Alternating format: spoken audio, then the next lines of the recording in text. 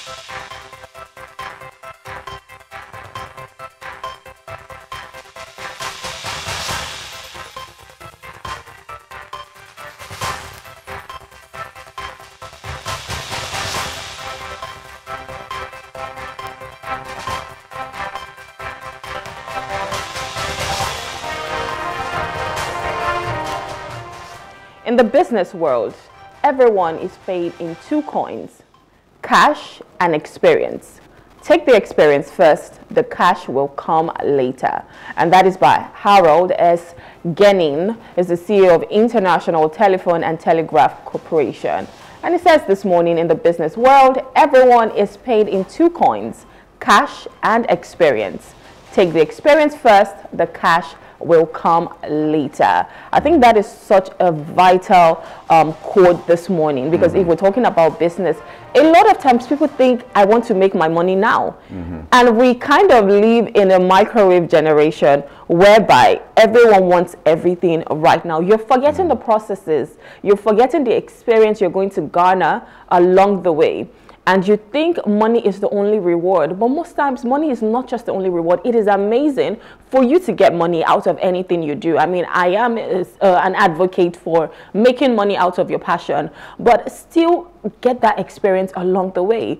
Don't think the cash is going to come now. And this is so apt because I was having a conversation with one of our colleagues here on Tuesday, on Monday, I presume, and he was like, Reme, do not think of the money right now because working on a project and it's like, Rumi, I understand how much you want to do this project, but do not think that it is just the money you want to get. You might get the money later on, but as of right now, try your best to ensure that you get this thing off the ground in as much as you want the money, invest everything you want and get the experience along the way. And that is what it is. You don't just say, I want to get all of the money. Take the experience. And money, because most times, even people are being headhunted for jobs and why are you being headhunted? Because you have the experience, mm. not just because we have a lot of cash to give you.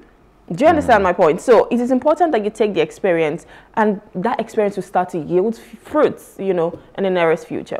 It's just like the scripture says: "Seek ye first the kingdom of God, and every other thing shall be added unto you." That's right. that's what experience experience does for you.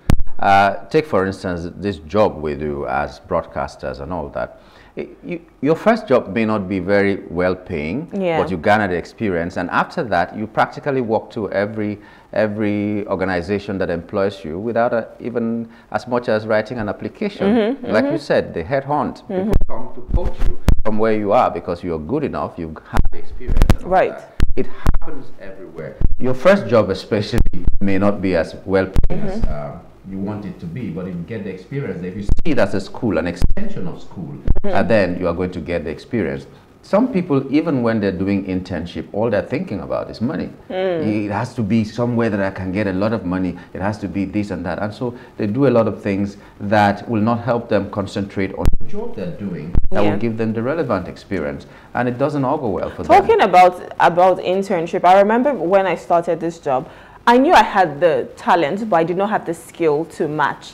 And I didn't mind interning anywhere as long as I can have that experience. Mm -hmm. And getting the experience, I know that it will pay off later on because I'm learning. In fact, I should be. It's I should be the one paying. Right? but that's the in thing. Yeah. Gather the experience, and every other thing will be added onto you. You don't. Mm -hmm. You just. You're just walking to somewhere. People will tell people about you because mm -hmm. you can do why is that? That's and you've, the, get, you've gotten the experience. And so when, when you find when you find artisans, for instance, you find that Nigerian artisans, I'm using my people because I know that is a, a, a thing that we do here. My people do not want to study. Maybe you want to be a seamstress. Six months you want to open your own shop. Mm -hmm. They don't want to learn. Even mechanics, all of them. Like all they feel them. like I, the moment I know a few things, Yes. I can go and start my own. Those customers, hey, you come to the other corner, I can do this mm. thing for a little bit less so that you can begin to get the money. But people come from other countries that took time to learn. Mm-hmm. They tell us stay there, some of them stay up to three years. They're mm-hmm. learning, they, they know everything, they serve their masters. Sometimes the master begins to pay them even because yeah. they become so good mm-hmm. before they That's how it freedom. Uh, so That's how it should be. People should be patient enough to learn and get the experience. All right, let's move over to our top trending stories this morning. This first one says Tinubu has appealed to Nigerians, focus on future, not current struggles. President Bola Tinubu has pleaded with Nigerians to be patient with his administration, assuring them that the country is transitioning from darkness to dawn. In an official video released by the State House on Wednesday, Tinubu acknowledged the ongoing hardships orchestrated by the removal of the fuel subsidy and the floating of the Naira. He noted that Nigerians' pain was compounded by what he described as an avoidable lag between the subsidy removal and his helpful plans for the country. He said, in quote, fellow Nigerians, this period may be hard on us and there is no doubt that it is tough. But I, I urge you all to look beyond the present temporary pains and aim at the larger picture. All our good and helpful plans are in the works. More importantly, I know that they will work. Sadly, there was an avoidable lag between subsidy removal and these plans coming fully online. I plead with you, please have faith in our ability to deliver and our concern for your well-being. We will get out of this turbulence and due to the measures we have taken, Nigeria will be better equipped and be able to take advantage of the future that awaits her. For example, we shall fulfill our promise to make education more affordable to all and provide loans to higher education students who may need them. No Nigerian student will have to abandon higher education due to lack of money. Our commitment is to promote the greatest good for the greatest number of our people. On principle, we shall never falter. I assure you, my fellow countrymen and women, that we are exiting the darkness into a new and glorious dawn. Now I must get back to work in order to make this vision come true. The president assured that the measures his government has taken would get the country out of the lingering economic crisis. For me, I feel like this should have been that speech he gave on Sunday. It yeah. is more reassuring. It is something that you would expect a president to say because you know that uh, as a leader, you want to ensure that your people know that you are empathetic towards them.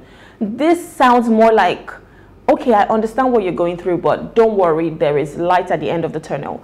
But when you come and you sound boastful and you say, we've done X, Y, Z, um, don't worry, but you're, you're not really saying don't worry. You're kind of like talking about your accomplishments, like things that you've achieved in one year. Even though people are suffering right now, they don't care about all of those things. making people to go on the streets, if yeah. you ask me, because those things you're boasting that you have done are the same things that are making people so hungry mm -hmm. and angry, and you just come to say, I, like you said, this is this is part of the speech that he should have made, yeah. and I don't know why. It is two days or three days after, uh, after that that he's making this speech again, mm. trying to correct the. so I feel so like it's a PR, like they're so, trying to so check it out. They even think through what they put on paper for him to read? Because I'm sure he didn't write the speech. Someone wrote it. He has had, he, he must have had some uh, inputs to it, but he has mm-hmm. the aides that uh, write speech. Um, why didn't they think about this thing to incorporate those kind of things in the speech in the mm first place that he made? Yeah. You know, it, it, it worries me. When that first speech came out, someone was looking at the video and saying, it doesn't even seem like the president is in the country. It's like he recorded this speech from somewhere else and he pointed out some things that made him feel that way. Mm -hmm. And now they're releasing yet another video mm -hmm. like he's somewhere just talking to Nigeria. For me, I feel like this second video is just damage control. Now, a lot of people have been talking about the first speech, saying it was it lacked empathy. The president just did not, you know, highlight several things. Even Soyinka has said that as well. It was like and, independence. Yeah. okay, not independence. Um, democracy speech yeah. he was reading out what he has done first mm -hmm. first hundred days in office like they do. Yeah. That's what he was saying. Yeah. And people are not happy with those same policies. You should have just reassured us mm -hmm. and said, okay, we will review, we will look at these things, even if you are not going to do it, but let us know that you've listened to us and you're thinking about it. And then suddenly, boom, we'll just see the results coming. That's why I said you know they're trying to do damage control right now. Anyways, we hope that the policies um, you know, will definitely come to fruition. As we have said, we hope that hopefully in the, in the nearest future we'll start to see all of this. The second uh, hot, uh, top trending issue Actually, we're going yeah. to address is the worrisome one. The World Health Organization, WHO, uh, said it was considering convening an expert committee to advise on whether to declare an international emergency as it did during the global mm, Mpox outbreak or monkeypox outbreak in, the, in 2022. Two years after a global outbreak, fears arrive that a new strain of monkeypox, previously known as monkeypox, identified, yes, identified in DR Congo and now also in several neighboring countries, could further spread. The clade IB strain uh, causes skin rashes, across the whole body, unlike other strains where lesions and rashes are usually limited to the mouth, face, and genitals. The African Union Health Agency, Africa CDC, registered 14,479 confirmed and suspected cases of the strain and 455 deaths in DRC as of August, representing a mortality rate of around 3%. Although researchers in the vast Central African nation say they Mortality rate from the strain can be as much as 10% among children. East African community has urged governments to educate their citizens on how to protect themselves and prevent the spread of the disease.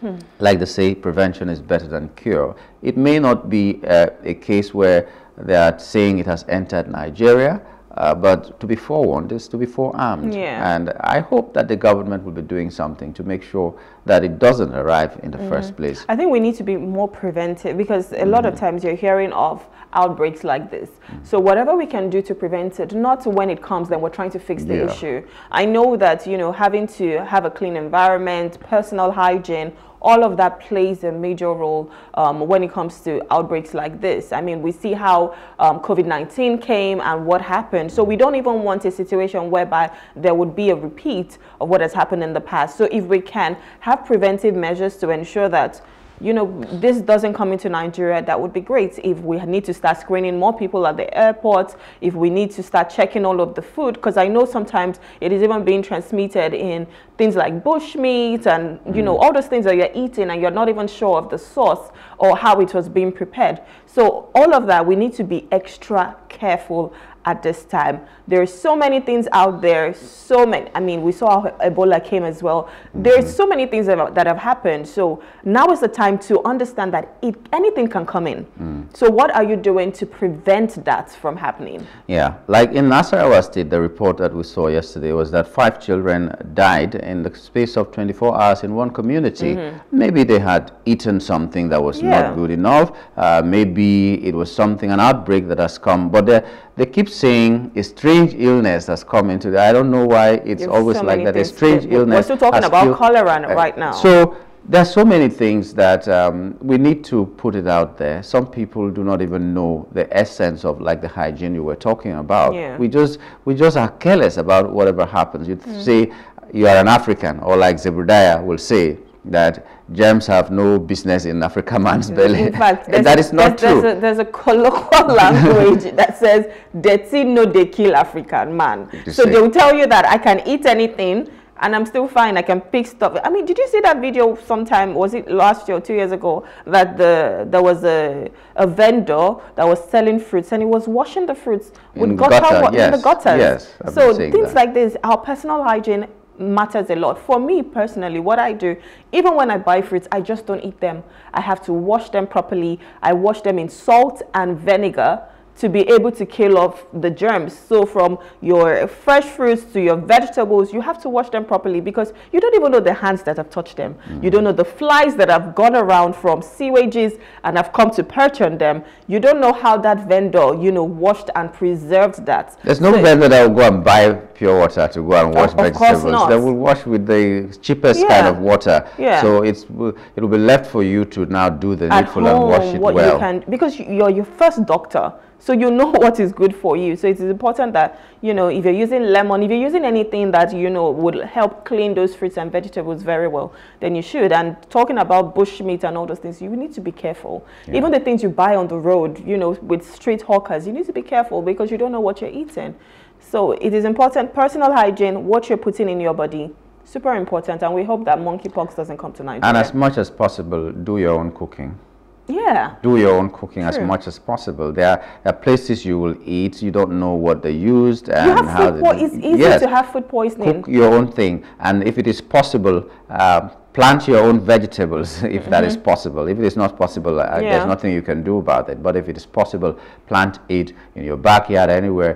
Don't wait for the first lady to advise you to do that. it's not even only because of hunger that is mm -hmm. in the mm-hmm. land that you need to do this, because you are sure of what of, you're eating, yes, what you're putting what you're in eating. your body. So be, be mindful. It's not all the time that you think of yourself that I'm so rich, I'm so well to do that I don't have. I, I, yes, so that people will another, not say I'm a bushman. Yeah, I know. I know this is going off tangent, but another thing is we're eating so many processed foods, and our life expectancy is not as you know long as it used to be mm-hmm. because mm -hmm. you're eating so many processed foods the, the, air you're breathing we're not really taking care of our bodies the way we should be so planting your own food does that for you because you're sure of the manure you're sure of the fertilizers you're sure of everything that is you know that made that crop what it is. So it is important that if you can, if you have, you know, a very large expanse of land, why not have your own orchard? Even a small place, you have you have uh, uh, paint rubbers in your house. You mm -hmm. have mm-hmm. some other things that you, you can, can just have, have peppers, some. Yes, tomatoes, and you know, at least the basic vegetables. things to be sure of what you're eating. Some people now